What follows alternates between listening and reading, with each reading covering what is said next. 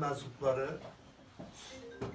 esnaf ve kefalet kooperatifleri, Afyonkarahisar'ımızın çok kıymetli başkanları, yine teşkilatımızın Afyonkarahisar'ın esnaf odaları başkanlarımız, aynı zamanda Konya'dan gelen Konya Bölge Birlik Başkan Vekilimiz ve Konya bölgesine bağlı bulunan kooperatiften gelen meslektaşlarımız, esnaf ve sanatkarımız.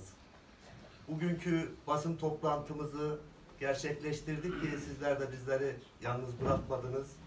Basın toplantımızın e, sebebi itibarıyla bilindiği üzere 14 Mayıs 2023'te işte Türkiye Cumhuriyeti olarak, Türk milleti olarak sandıklara gideceğiz. Dolayısıyla bizler esnaf teşkilatları olarak bütün siyasi partilere aynı mesafede olsak ki o bir tanesi hariç HDP'ye bütün siyasi partiler bünyemizde bulundursak da bizim geçmişten bu tarafa açıklamalarımız, demeçlerimiz biz diyorduk ki üvey evlat olmayalım. Yani Türkiye Cumhuriyeti Devleti'nde esnaf ve sanatkar gözetilsin. Esnaf ve sanatkarın hak ve menfaatlerinin bizler savunucusu olarak bizlerin sesini duyun. Maalesef birçok sıkıntılar yaşadık. Tabii ki işte son 5 yılda e, yaşadığımız, ülke olarak yaşadığımız sıkıntılar, işte pandemi süreci, arkasından Ukrayna, Rusya savaşı ve en son işte yüzyılın afatı diyor. Ancak esnaf ve sanatkarımızın da bu sıkıntı- sıkıntılardan daha çok etkilendiğini biz her platformda dile getiriyoruz. Bununla birlikte tabii ki bizler ülkemizin birer mihenk taşı olarak bu sıkıntıları gidermek adına her türlü katkıyı vermekle beraber esnaf ve sanatkarın ilgilendiren konularda da masada karar al- alıcıların maalesef esnafların da olmadığını bizler, sizler bölgelerinizde, bizler burada sizleri temsilen defalarca ifade ediyoruz. Dolayısıyla önümüzde bir seçime gidiyoruz dedik ki bizlerin sesi gür çıksın. Esnaf teşkilatımızı temsil eden arkadaşlarımızın sayısı çoğalsın ki hangi siyasi partiden olursa olsun. Biz esnaf teşkilatları olarak bu arkadaşlarımızı bu e, mesleği, meslek demeyelim, bu mevkilerde bulunan teşkilat mensuplarının orada olması biz esnaf ve sanatkara güç verecektir. Dolayısıyla bugün işte Afyon Kooperatif Başkanımız Sayın Emin Birliktir'in de biz e, aday olacağını duyduk ki Adalet ve Kalkınma Partisi'nden büyük bir iftiharla biz açıklamanızı e, kendi teşkilatımız yani bize güç verecek işte esnafın 25 bin esnafın temsilcileri olarak buradan açıklama yapacağını ifade ettiler ki başımızın üstüne dedik.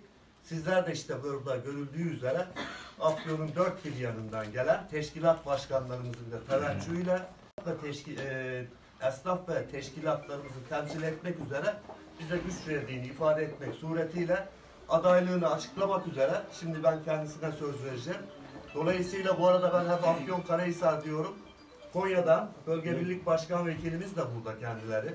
Konya'dan bölgesinden gelen arkadaşlarımız burada ki aynı dertleri biz Afyon Karahisar yaşadığı gibi Konya yaşadığı gibi Türkiye'nin her bir bölgesinde o sıkıntılara maruz kalıyoruz. Dolayısıyla biz çok memnunuz. Keşke Emin Birliktir gibi bir 10 tane daha Emin Birliktir teşkilatımızdan içinden çıksaydı ki hangi siyasi parti olursa olsun ki ben Selçuk Başkanım'dan aynı hamleyi bekliyordum. Yani artık gelin bilemiyoruz şartları. Dolayısıyla az olsun ama nitelikli olsun, esnaf ve sanatkar olsun dedik ki ben sözlerimi Sayın Başkanıma e, da vermeden önce Konya Birlik Başkanımızın da söyleyeceği bir şeyler vardır mutlaka. Kendileri sağ olsunlar buraya kadar teşrif ettiler. Sözü ben e, İbrahim Başkanıma veriyorum. Teşekkür ederim Sayın Başkanım. Değerli dostlar, ben e, Konya Esnaf Kefaat Kooperatif Başkanlığı 20. Bölge Birliği Başkan Vekilliği görevini üstlenmekteyim.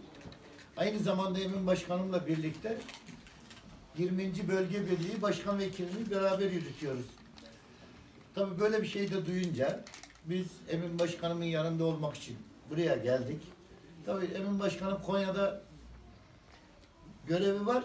Artı burada Esnaf Kefaat Kooperatifinin başkanı ve burada bulunan ilçelerimizin kooperatif başkanlarıyla birlikte onların dertlerini, sıkıntılarını dinleyen ve onları bölgede paylaşan değerli bir dostumuz. Biz de isteriz ki böyle değerli dostlarımız, arkadaşlarımızın aynı Cengiz Başkanımın ifade ettiği gibi hep böyle işin mutfağından gelen, esnaflıktan ve bu teşkilatların içinden gelen arkadaşlarımız ön plana çıksın. Bizim dertlerimizi, esnafımızın sıkıntılarını en iyi şekilde ifade etsinler. Ve Emin Başkanıma başarılar diliyorum. İnşallah muvaffak olur. Sizlerin de desteğiyle inşallah bu işi başaracağına eminim. Hayırlı olsun inşallah. Basınımızın değerli temsilcileri, esnaf odalarımızın çok değerli başkan yöneticileri, esnaf kefalet kooperatiflerimizin çok değerli başkan yöneticileri. Ben öncelikle esnaf teşkilatlarımıza sahip çıktınız ve sağ şahsıma sahip çıkmanızdan dolayı hepinize öncelikle teşekkür ediyorum. Biz e, aday olmaktaki niyet, niyetimiz Yıllardır hep söyleriz. Kendi içimizde, kongrelerde konuşuruz. Ya bizim niye esnaf teşkilatlarından bir milletvekilimiz yok diye. Maalesef mecliste de uzun yıllardır bir esnaf sanatkar temsil edecek milletvekilimiz yok. Dolayısıyla sizlerin de teşvikleri, değerli başkanlarımın teşvikleriyle e, böyle bir şeye niyet ettik. Siz de teveccüh gösterdiniz, buraya geldiniz. E, Burada asıl mesele şu, Esnaf ve sanatkarın sorunlarını Sayın Cumhurbaşkanımızın önderliğinde büyük bir bölümünü çözdüler. Allah onlardan razı olsun. Yalnız e, siyasetçinin siyaseti yanlış yönlendiren bürokratlardan dolayı çözülmeyen bir sürü de problemlerimiz var. Bunu da göz ardı edemeyiz. Örneğin hala bir e, market zincirler yasası çıkmadı. Bakkal amca neredeyse kayboluyor. Nakliyecimiz mazot parasına yetişemez hale gelmiş, yağ yakar duruma gelmiş. Nakliyecinin kullandığı mazotla e, lüks arabanın kullandığı mazotun aynı fiyatta olmaması lazım olduğu. Bunun yanında emeklilik yasasında biliyorsunuz bazı adaletsizlikler var. Bunların çözülmesi lazım. Çözülürken de bürokratın siyasetçiyi doğru bilgilendirmesi lazım. Ya da siyasetçinin kendisinin bu konuyu bilmesi lazım. Dolayısıyla bugüne kadar çözülemeyen büyük sorunlar çözüldü çözülemeyen bu tür problemlerinde e, gerçek siyasetçinin, esnaf ve sanatkarın derdini bilenlerin meclise yansıtarak çözülmesi gerektiğine inandığım için sizlerin temsilciniz olarak Esnaf ve Sanatkarlar Teşkilatları'nın temsilcisi, Esnaf ve Sanatkar'ın temsilcisi olmak adına AK Parti'den Afyonkarahisar Milletvekili adayı, aday adayı olmayı niyet ettik. Sağ olsun değerli birlik başkanlarım ve sizler de teveccüh gösterdiniz, destek verdiniz. Ben tekrar katılımınızdan dolayı teşekkür ediyorum. İnşallah Allah nasip eder de e, seçilecek yerde olup seçilip gidersek hepiniz zaten beni biliyorsunuz. E, kapıyı çalmadan girdiğiniz abiniz, kardeşinizim. Zaten 30 senedir teşkilat başkanlıklarını yürütüyorum. Esnaf kefalet başkanlıkları, oda başkanlıkları, iş adamı dernekleri başkanlıkları. Çeşitli yardım kuruluş kuruluşlarında da başkanlıkları biliyorsunuz hepiniz de. Yani aile, aynı ailenin içerisindeyiz. Ee, ben bundan sonraki süreçte de genel merkezin sıralamasından sonra da desteklerinizin devam ettiği inancıyla hepinize saygılar sunuyorum. Katılımından dolayı hepinize teşekkür Allah hepinizden razı olsun. Değerli basın mensuplarımıza da çok teşekkür ediyorum. Asıl bundan sonraki sü- süreçte zaten değerli gazeteciler cemiyet başkanımız vardı. Aynı zamanda basınla ilgili sizin camiadasınız zaten. Evet, gazeteciler cemiyeti başkanımız Sezer Başkan var sağ olsun yönetim kurulu üyeleri de her türlü desteği veriyorlar. Basınımız da bizim yanımızda yani esnafın yanında her zaman olduğu gibi. Hayırlı uğurlu olsun başkanım. Allah razı olsun. Hayırlı olsun.